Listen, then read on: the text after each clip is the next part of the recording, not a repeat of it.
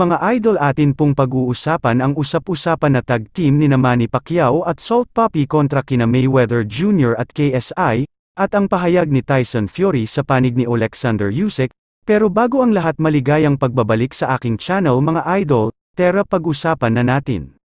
Isang poster ang inihayag kahapon, na nagpapakita ng isang laban para sa isa sa mga laban ng tag team ng Misfit Boxing dahil ang ipinakitang laban ay sina KSI at boxing great Floyd Mayweather Jr. versus another boxing legend na si Manny Pacquiao, at sikat na TikToker na si Salt Papi, bagamat hindi pa opisyal ang petsa at location ay kinumpirma ito ng manager ni KSI at kinatawan ng Misfits, ang Proper Loud Music, na doon talaga ginagawa ang laban, ang pag-asa ni KSI na magkaroon ng malaking laban sa kapwa niya YouTuber na si Jake Paul ay tila naudlot matapos matalo si Jake Paul via split decision kay Tommy Fury noong nakaraang buwan. Noong nakaraang linggo ikawalo ng Marso taong 2023 ay inihayag ni Mayweather ang kanyang pansamantalang paparating na schedule para sa taon. Kasama sa Money's 2023 Heist Exhibition Boxing Tour ang limang laban sa limang magkakaibang bansa, kabilang ang United States, Japan, Germany, Australia, at South Korea. Hindi sinabi ni Mayweather kung anong mga uri ng laban ang mga iyon o tulad ng tag team o sinumang kalaban, ngunit ang alamat ay naninindigan na hindi niya makakaharap ang sinumang mga boksingero o mga kampyon sa mundo sa hinaharap. Ang Filipino icon na si Manny Pacquiao ay sinundan ng dati niyang karibal na si Mayweather sa exhibition boxing game na tatlong beses na nagboboxing noong 2022, Tinalo ni Pacman si DKU sa pamamagitan ng unanimous decision noong Desyembre. Mula noon pumirma si Pacquiao sa Ryzen Fighting Federation, na makipagkompetensya si Pacquiao sa Japan at hinahanapan pa ng makakalaban.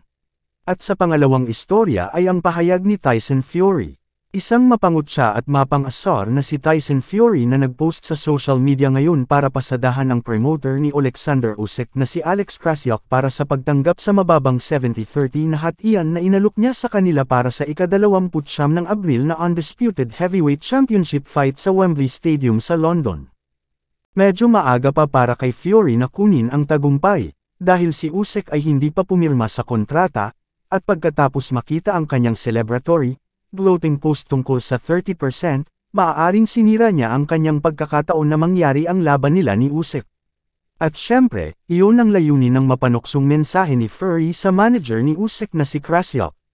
Hindi gusto ni Fury ang laban, at umaasa siyang magagawa niyang galitin sila hanggang sa kung saan sila lalayo sa deal para maiwasan niyang matalo sa superior na talento at nakakondisyon na boksingero.